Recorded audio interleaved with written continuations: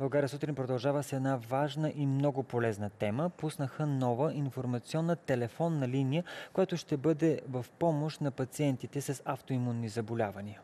Повече за нейното действие и функции ще разберем сега от нашите гости Николай Недялко, който е заместник председател на Асоциацията на пациентите с автоимунни заболявания и Даяна Иванова, която има такова заболяване, което е наречено болестта на Крон.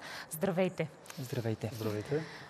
Обяснете ни сега първо, господин Недялков, този въпрос към вас, да ни обясните как точно тази телефонна линия, която сега е открита, ще помага на пациентите с автоимунни заболявания. Да, само да кажа, че линията вече започна да работи от 8 май. Идеята е пациентите да могат да получат информация най-често от друг пациент, защото пациент на пациент, когато предава информацията, така е по, по, на по-достъпен език. А, по принцип, когато пациент отива при лекар, той не, винаги има достатъчно време, за да му отдели, да поговорят чисто и просто за заболяването. Тук пациентите могат да получат повече информация за самото заболяване, кога трябва да отидат на лекар.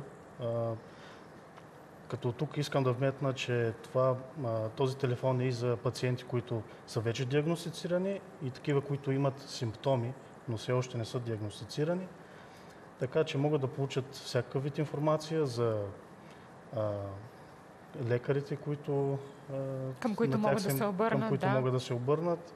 А, чисто и просто информация за самото заболяване, симптоматиката, как протича и живота с болестта, защото това е а, по принцип, когато един човек от семейство има болест, то е болест на цялото семейство. Виждаме и телефонният номер 0876 303 400. Има и работно време от кога до кога. Ако аз се обадя на този номер, ще мога да получа информация. Ако се обадите, ще ви вдигнат от 10 до 17 часа.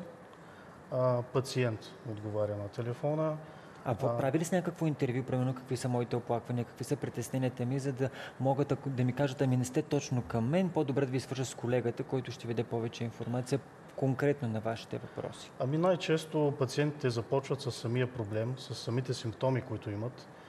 Някои вече знаят, намерили са информация на нашия сайт, защото вече ние сме качили доста информация, проверена от лекари, държа да подчертая, достоверна информация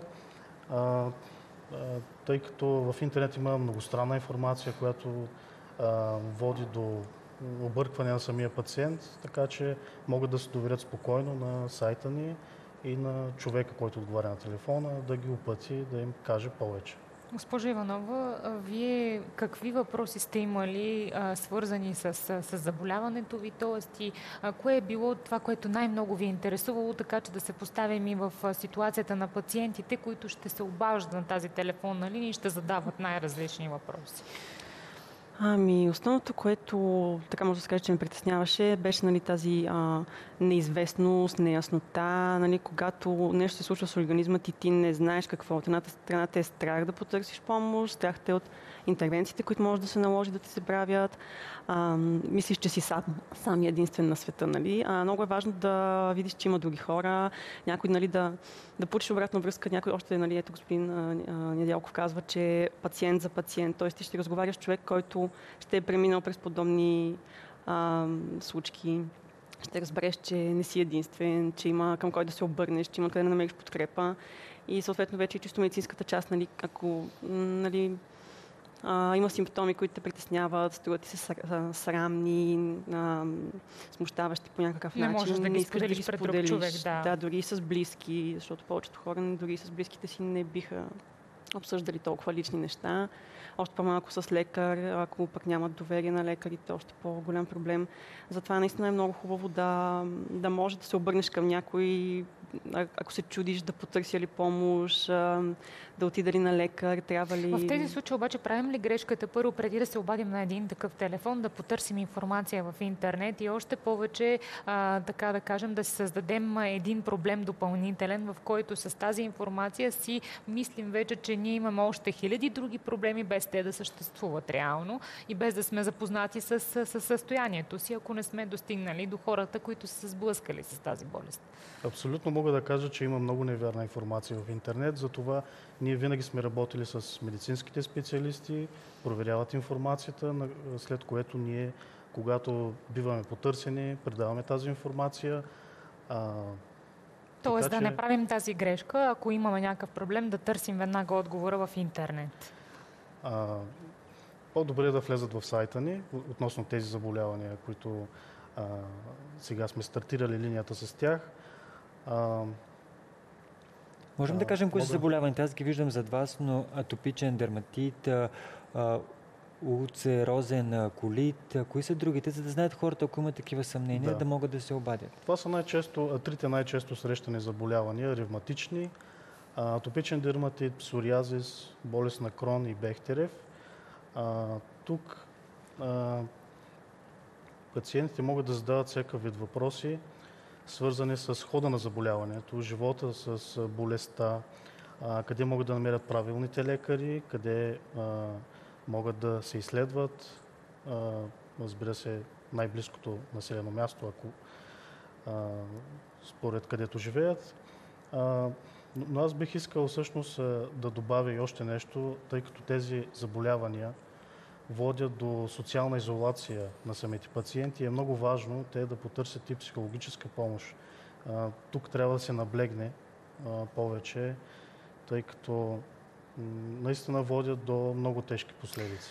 Сега тук ми изниква и въпроса, докато я нямаше тази линия, която стартира съвсем наскоро, към кого трябваше да се обръщате и най-често към кого го правехте? Към лекарите ли? Ами, конкретно в моя случай веднага се обърнах към асоциацията, която е за заболявания като моето. Свързах се с хора, а, организираха се групи за взаимопомощ, които имаше хора, които ги посещавахме.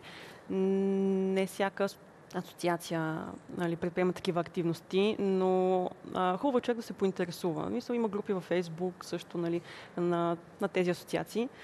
И да, ако има такива инициативи за групи за взаимопомощ или дори просто е така да излезеш на среща, да се срещнеш с такива хора, това е изключително важно, точно за да се справим с тази социална изолация.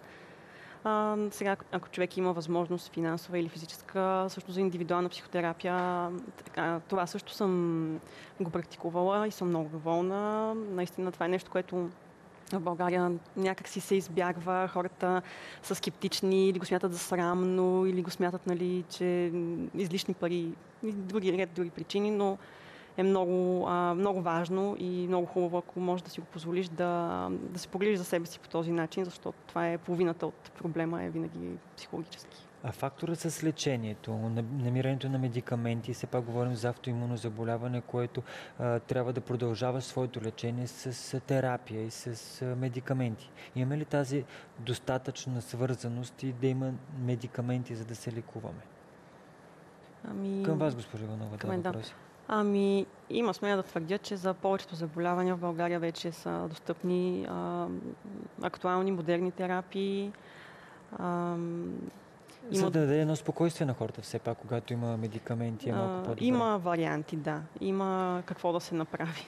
Докато се подготвях за нашия разговор, попаднах и на такава информация, че наскоро вече се е взело такова решение хора и пациенти с такива редки заболявания да имат възможността им терапията да се поема от държавата след навършване на 18 годишна възраст и съответно какво трябва да направят тези хора, защото има един канален ред, който те трябва да минат да сключат един договор с здравната каса, нали така? Само да ни разясните Да. по този въпрос. Това е другата важна точка, която нашия сътрудник по телефона ще обясни на обаждащия се пациент, че има един административен път, който те трябва да извървят от диагностицирането до преминаването понякога и на експертни лекарски комисии, при заверяване на самия протокол в здравна каса, след това издаване на рецепти от личен лекар. Нали, това са стъпки, които пациента най-добре ще разбере, когато се обади. Всъщност ние сме подготвили и такъв път като точки, който той може да се отбелязва, да се следва и да, когато са изпълнени, да знае, че е преминал реда за получаване. Много ви благодарим. Наистина информираността е много важна и едно важно оръжие, така че нека всеки, който има някакви притеснения, да се обади на този телефон, защото, както казахме, когато пациент поговори с пациент, е малко по-успокояващо и по-добре. Благодарим ви за този разговор.